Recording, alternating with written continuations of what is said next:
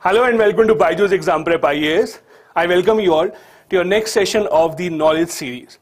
I hope all of you have been attending all these live classes of the knowledge series that take place every single day at 10 a.m. and at 3 p.m.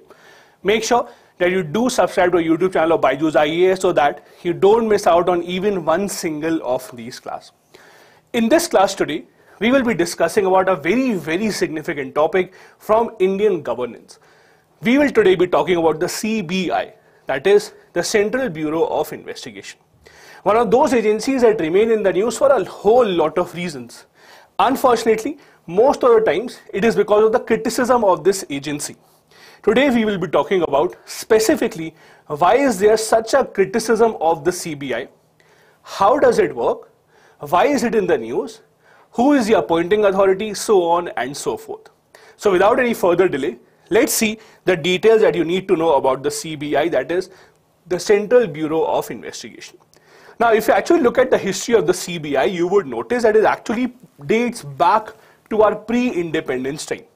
It was set up as something called the Special Police Establishment, that is the SPE of 1941. It was given a statutory status in 1946 under the law called the Delhi Special Police Establishment Act. Now you can see the relationship between the earlier name of the CBI, that was a special police establishment, and the statutory status that it was given under the act that was called the Delhi Special Police Establishment Act. As the name suggests, it was specifically to work at the central government level, based in Delhi, and specifically to look into the cases which need investigation from the side of the central government. Now to understand this, police is a state subject. So every single state in India would have their own police if they have to investigate a certain matter. Punjab would have their own police, Kerala would have their own police, Maharashtra would have it, so on and so forth. But what about the central government? When the central government also wants to investigate a certain matter, they want to have an agency of their own and that is where the CBI, the Central Bureau of Investigation comes into the picture. At the state level also, we have an investigative agency that the state governments use, which is called the CID. Not the serial that you use or that you actually used to watching, but the CID is the agency that works at the state level. Similarly, CBI works at the central government level. The CBI mainly has three divisions which take up cases depending upon their own expertise. We have the anti-corruption division of the CBI, we have the Economic Offences Division of the CBI, and then we have the Special Crimes Division of the CBI. Now, these names are very much self-explanatory. The Anti-Corruption Division means this is the arm of the CBI that takes up cases mainly regarding the corruption cases. So, for instance, let's assume that there's a CAG report that has come out, which has pointed out towards a whole lot of corruption in certain government contracts. Let's assume the 2G scam report came out, or the Commonwealth game report had come out those are certain reports that point out towards certain kind of corruptions taking place at the government level. If the central government wants to investigate that even further, they will call up the anti-corruption division of the CBI and then they will take up the investigation further. Similarly, we have economic offences division, specifically meant and trained to handle economic offences. So when a whole lot of money and other kind of finances are involved, that is where the economic offences division comes into the picture. They are trained to handle these cases. And then all the remaining cases that we have, they come into the special crimes division. I'm not sure how many of you watched that movie Talwar or if you followed the real life case of Arushi Talwar, that is a young girl that was murdered in Noida. Now that became a very famous case. It was first investigated by the, the, state police and then it went to the CBI. So if the CBI has to take up such cases, let's say involving violence, murder, etc., they cannot form or they cannot come under the anti-corruption division. That crime cannot come under the economic offences division. So that particular kind of a crime would come under the special crimes division of the CBI.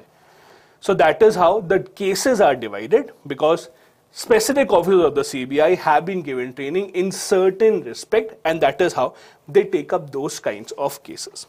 Now, the biggest question that we have is what kind of cases can the CBI take up? For example, tomorrow there is a theft at your place or let's say there's an accident in which two people are involved. Can the CBI take up those cases? Yes or no? Or let's say a murder has been committed or a great crime or a great conspiracy is being committed against the state. Can the cbi take up those cases or not? There is a very specific division between which are the cases that the cbi can take up and which are the cases that the cbi cannot take up. Now let's see how. The CBI can suo moto take up investigation of offences only, now the keyword here is only, in union territories. Meaning that if there is a certain case, the roots of which are in a certain state, let's say Maharashtra, West Bengal, UP, Gujarat, if there is a crime that has taken place in these states, within these states, then the CBI automatically cannot take up those cases. No. The CBI only has the power to suo moto take up cases which are taking place in a union territory. Do remember that. The central government can authorize the CBI to investigate a crime in a state, but only with the consent of the concerned state. Now, the word consent here is probably the most significant word that you will read with respect to the CBI. Let's try and understand here what is the meaning of the word consent. Let's take a simple example. Let's say there is a case that has taken place in the state of Maharashtra. Now, by default, the CBI cannot take up the investigation because by default, they can only take up those cases that are happening in a union territory. Now, Maharashtra is not a union territory, right? Now, what happens is if the state of Maharashtra or the government of Maharashtra officially gives the recommendation or officially allows the CBI to take up the case, they can. Over here, there are two types of consents that you need to understand there is something called the general consent and then there is something called specific consent. Before I go forward, just to clarify here, the word suo moto, which I am sure many of you would have read already, specifically with respect to judiciary, Supreme Court, etc. Suo moto means by itself. For example, let's say if I have to drink a glass of water, if I can drink it suo moto means I can just have it without asking anyone. But if you're sitting in a class and you have to go outside to drink water, you have to then go and take permission. The suo moto by default means by itself. They don't have to take anyone's permission. They don't have to depend on anyone else. That is what suo moto means. So there are two types of consents that states usually give to the CBI. One is called general consent and the second is called specific consent. Now let's understand the difference between the two. As I said, let's say there is a case that happened in the state of Maharashtra and the Maharashtra government wants the CBI to come up and investigate. They can do that because the Maharashtra government has already given the consent to the CBI.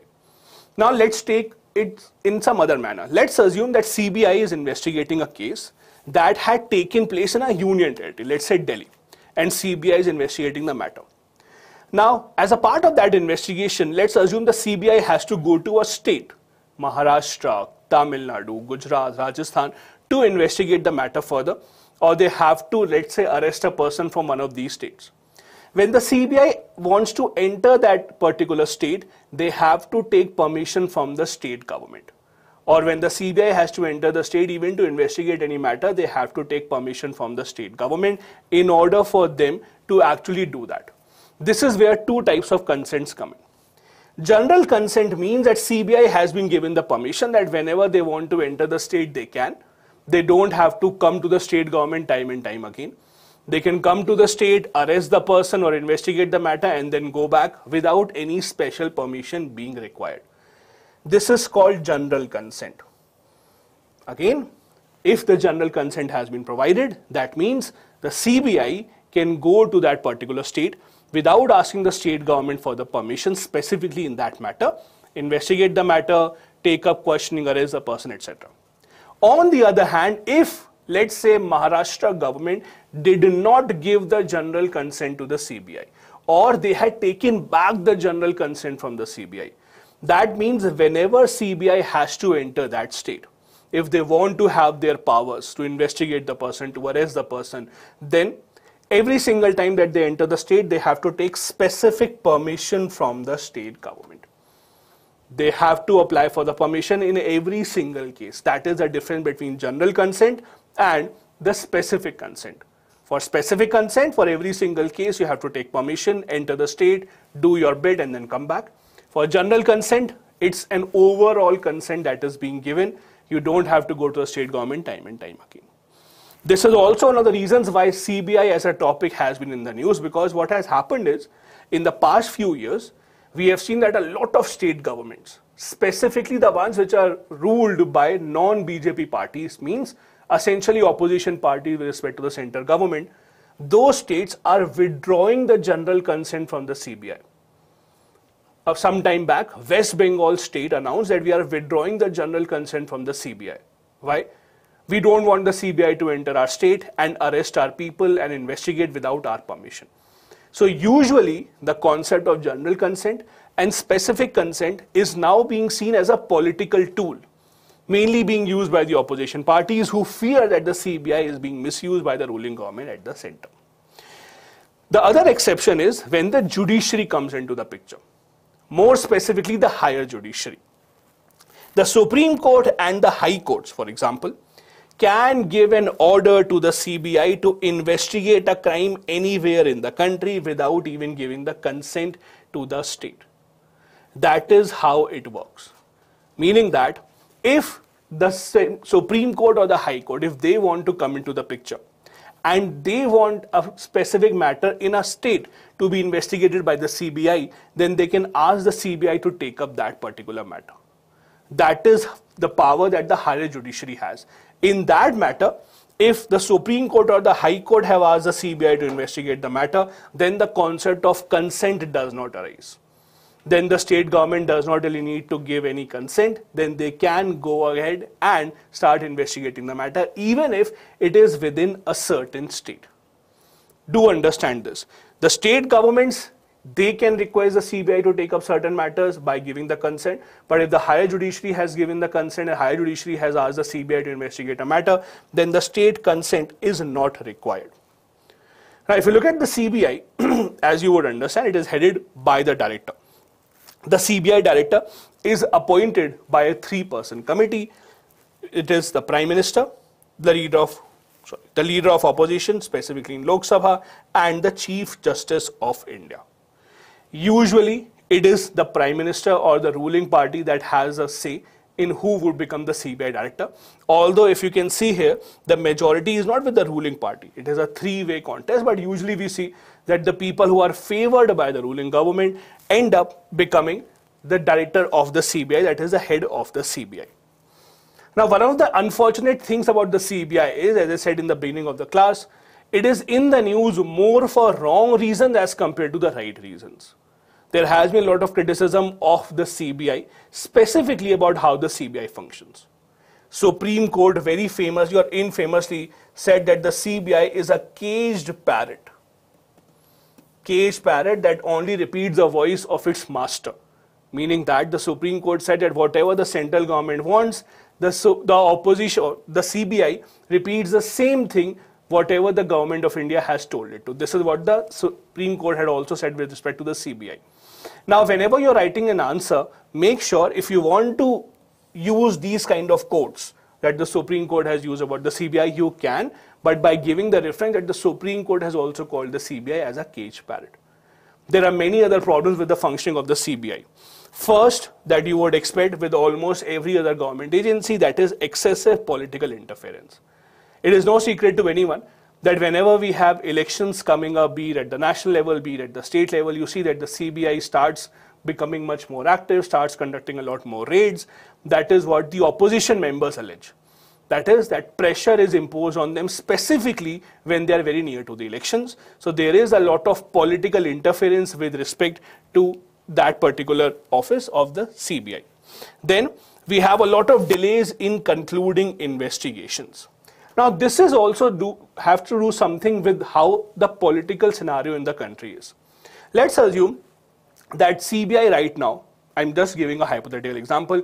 Let's assume CBI right now is investigating a matter against an opposition member, let's say a person belonging to the Congress or some other party.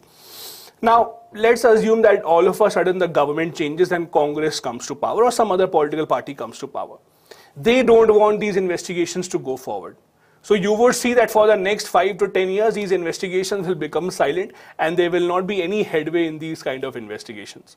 That is a very common trend that you see. whenever there is a change in power at the center government level or whenever there are certain changes in the political scenario. Let's say some political party starts favoring the center government. All of a sudden you would see that the CBI cases specifically against them will slow down. For example, in 2014 when BJP came to power, there were a lot of pending cases against the people in the BJP that were being investigated by the CBI. But a lot of them slowed down since then. And it is not a very unique trend to the party in power. It is common with almost every political party. That is also one of the problems that we have with the working of the CBI.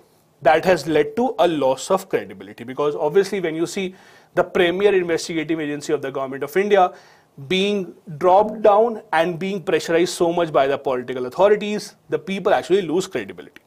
Then there's lack of accountability. Lack of accountability means even if the CBI has charged a certain person with a certain crime, even if they cannot prove the same in the court, there is no accountability. Means they don't have to come out with an explanation why they did that, where were they wrong, etc. So even if their investigation is not really up to the mark, they will not have to give any accountability or, or any answerability for that. There is a shortage of personnel. If you look at the structure of the CBI, you would see at the lower level, for example, at the sub-inspector level, people are directly recruited into the CBI. But when you go to the high level, for example, you go to the uh, director of the CBI or people who are heading the CBI at the top layer, those are usually people who are IPS officers who are then drafted to work in the CBI. So if you have to enter the CBI directly, usually you enter at the lower level, that is the sub-inspector level, but at the very high level, people are actually taken from other services such as the IPS. What has happened as a result of it is that there is an acute shortage of personnel. Now, one interesting trick here is that you can use this kind of a point in almost every government agency. There's an acute shortage of IFS officers, Indian Foreign Services. There's an acute shortage of IAS officers also. There's an acute shortage of police, there's an acute shortage of teachers, almost every other government scenario that you can imagine, you can use this particular point, which will be a fact. The CBI also has limited powers with respect to the consent that has to be provided by the respective states. If a specific state does not give the required consent to the CBI, the CBI does not have the power to function within that particular state. Also, they require prior approval of the central government to conduct inquiry on employees of the central government, especially who are at the level of joint secretary or above. So if there's a complaint that is filed against a person who is at working at the level of joint secretary or higher than that, then the CBI has to first get permission from the central government, only then they can proceed with the same all these things together mean that the CBI cannot function as an independent investigative agency as they should if they want to uphold what the country stands for. One of the other problems with the CBI and the Chief Justice of India, the Supreme Court have been very, very open with it is that the CBI does not function independently. I earlier told you how the CBI actually called, how the Supreme Court called the CBI as a caged parrot meaning that the CBI only investigates those cases with their master, that is the central government tells them. The CBI only gives the reports in such a manner that it pleases the central government. All of that has not gone down well with the Supreme Court, with the higher judiciary. That is why you see every few months, whenever there is a CBI case that is in the news, these kind of statements come up from the Supreme Court. That the CBI is a cage parrot, CBI is losing its credibility, etc. This is not very uncommon. I've just taken the snippet of the latest one from April 2022. But if you actually Google these kind of statements, you will see a lot of them being made time and time again by the higher judiciary. This is a major cause of concern when the highest court in India does not see eye to eye with the highest investigative agency of the government of India because the Chief Justice thinks that the CBI is not working properly. Now, with respect to the CBI, there is one specific case that is time and time again quoted, which is called the Vineet Narayan case of 1997. Now, the Vineet Narayan case of 1997 specifically was about the Hawala transactions, the illegal transactions of money that was being made in India in 1990s. This is where the Supreme Court of India gave certain directives with respect to the CBI. For example, the Supreme Court said that CBI right now is not essentially supervised and they should be supervised by the CVC. Now what is CVC? CVC is Central Vigilance Commission. Central Vigilance Commission. This is another of those statutory bodies you would, you would have read in polity or in governance. It's a three-member body which has a four-year tenure. Now what does it do? As the name suggests, they are the Vigilance Commission, means whenever you have any corruption related complaints against any government office or government officer, you can file that complaint to the CVC. That is what the CVC does. Now, CVC does not have their own investigative agency. What the CVC does is it, usually requires the CBI and other kind of agencies to take up the investigation.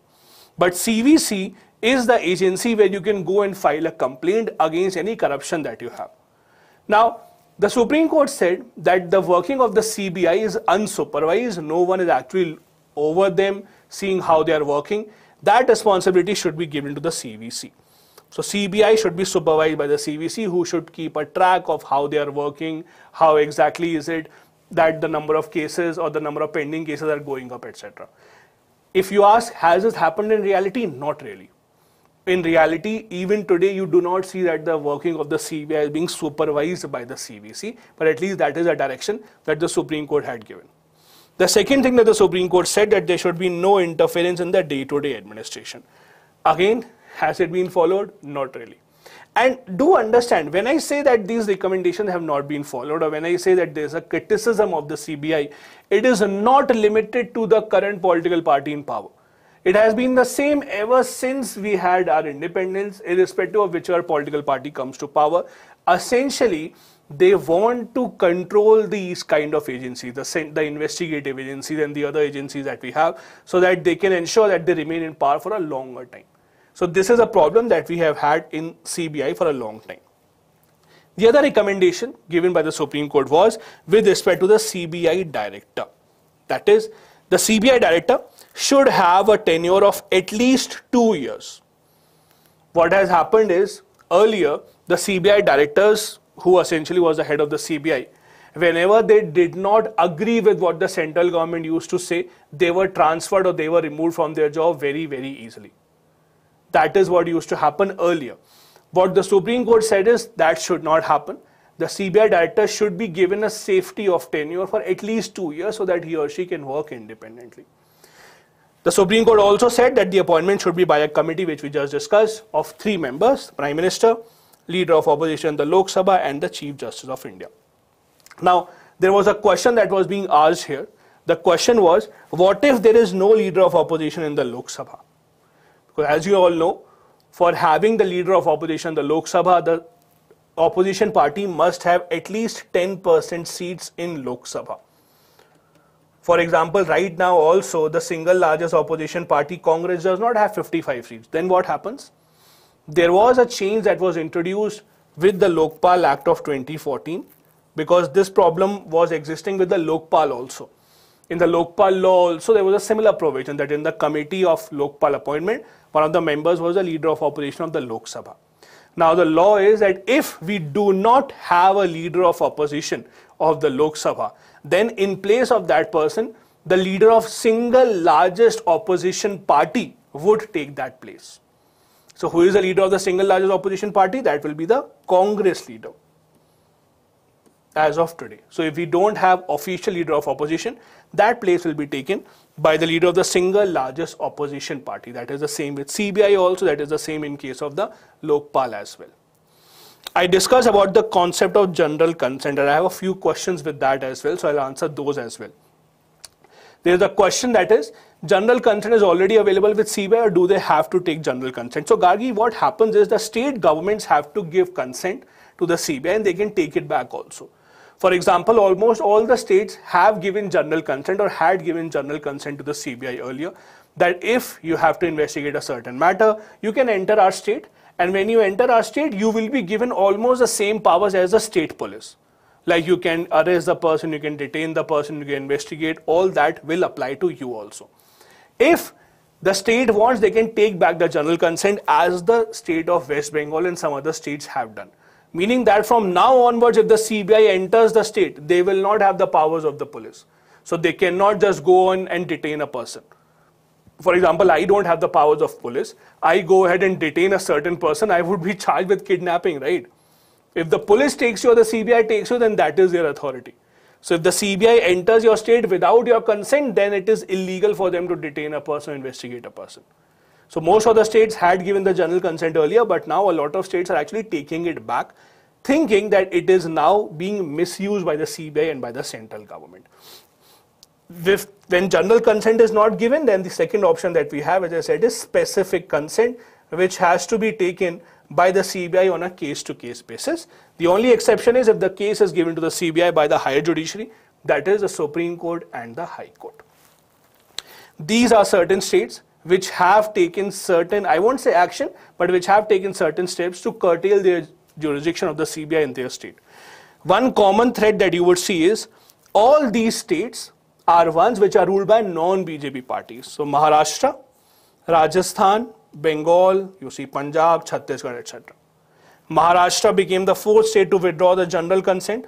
Andhra Pradesh, Goa, Uttarakhand had earlier done so, but then reversed the decision. Why did they reverse it? They reversed it when the BJP or the favorable government as compared to the central government came to power. Rajasthan government, Rajasthan which is ruled by the Congress, they also withdrew the general consent. West Bengal did, Chhattisgarh did. So there is a trend that you will see specifically with respect to the states which are being ruled by the non-BJP parties, that is a withdrawal of the general consent. These are the details that you need to know about the CBI. These are sufficient enough details for you to answer most of the questions in the prelims and in the mains examination with respect to the Central Bureau of Investigation. Let me take up a few questions that have been asked here. Okay. Um, we discussed about the concept when there is no leader of opposition, then what would happen? As I said, the leader of the single largest opposition party will take up that position. Um, there's a question from Gunjan. What happens if CBI enters any state without consent? Gunjan, as I said, if they do, then they would not be given any powers of the state. They would be just common citizens. They cannot investigate the matter. They cannot take the person into custody, etc. Uh, I have a question. What is the difference between CVC and CBI? As I said, CVC and CBI are different agencies. CBI is the investigative agency. So they are the ones who will investigate the cases. They are a much, much larger organization. They take up cases of a, of a lot of kinds. CVC is specifically an agency that is against corruption. So it's anti-corruption agency. Also, they don't have their own investigative arm. When you file a complaint with the CVC, they will have to request the CBI only to take up the inquiry. Also, as a general citizen, I cannot go and file a complaint with the CBI. I can go to the police, file a complaint. I can file a complaint with the CVC also. That is also an option that I have available online. I can't go to the CBI to file a complaint. So these are very different agencies of the government of India that we have. okay, then I have a question. What does the statutory status mean? So if you have read in Indian polity, there are mainly three kinds of government bodies that you have. For example, there is one body called the constitutional body then the second types of body that we have are called statutory bodies. The third are executive bodies. Constitutional bodies are the ones which have been made by the constitution or which are mentioned in the constitution. For example, the Union Public Service Commission, the Election Commission of India, the CAG, the Finance Commission. These are the bodies which are written in the constitution. The Constitution of India says, for example, under this particular article, there shall be a Union Public Service Commission. There shall be Election Commission of India. So they derive their authority from the Constitution of India. Statutory bodies are the ones which are created by an act of parliament. So when the parliament passed an act or the parliament passed a bill, that is how these bodies were created. These are NHRC, National Human Rights Commission, the CVC, the Central Vigilance Commission, the CIC, Central Information Commission. These are the kind of bodies which you call as statutory bodies. Then third are executive bodies. Executive bodies are the ones that are just made by a government order. So government gave an order that we are making a body and the body is created that is an executive body. The best example of this can be Niti Aayog. The main difference between all these is that for a constitutional body, if you have to change anything in them, you have to require a constitutional amendment for that. For statutory bodies, you have to amend that particular act of the parliament by simple majority. For making any change in executive body, you just have to give another government order. Like when Modi government came in, they just gave an order to remove the planning commission, it was removed. They did not have to make any change in the constitution. They did not have to go to the parliament, etc. So these are the different bodies that we have. Okay. Um, then I have another question. What is the difference between, okay, this is a difference asked between a lot of agencies, difference between CBI, ED, that is Enforcement Directorate, IB, Intelligence Bureau, NIA, and CBDT. Okay. A lot of bodies have been mentioned which are very, very different from each other. Okay. CBI we just discussed. ED is Enforcement Directorate. They are the ones who take up specific cases with respect to one specific law that is Prevention of Corruption Act. So if there is a case with respect to Prevention of Corruption Act and it involves mainly money laundering, then ED will come up. So ED has very specific powers with respect to only very few laws. That is where they take up cases. IB Intelligence Bureau is very very different. They are they don't take up any cases. They are intelligence agency of the government of India. So they take up all or they gather all the intelligence. Their job is to identify if there is a threat to the government of India or to the people of India or not. NIA, that is the National Investigative Agency, is specifically for terrorism related cases. So it came up after the Mumbai terror attacks. It only takes up terrorism related cases, nothing else. CBDT, uh, Central Bureau of Direct Taxes, this is again, as the name suggests, if you have defaulted in paying direct taxes like income tax, then this body will come after you. And I really hope that is not the case because they are not a good body to have after you. So CBDT takes up tax related matters, especially direct tax related. Okay, that is how it happens. Okay. I'll take one last question. Uh, why CBI can only suo moto take up cases in union territories and not states? Because again, that is a matter of jurisdiction. If the CBI starts taking up suo moto investigations in state governments also, and the state governments will say, then where is our power? For state governments, they have the police under them. For state government, they have their own CID under them. For the central government, they have a separate agency that is the CBI. You can't have a situation where the central government starts using its agencies within the states. That is why the CBI has to be kept separate and the states have to be kept separate. Because if that is the case, if CBI starts taking up suo moto matters in the state governments, then there will be a lot of problems and the state governments, specifically the ones which are not being ruled by the party at the center will not be happy with it. These are most of the questions that we had with respect to the CBI. Thank you so much for watching this lecture. Make sure that you do hit the like button, do subscribe to our YouTube channel of Byju's IAS and do catch us live again at 3 p.m. for the next session of the ongoing knowledge series. Thank you so much.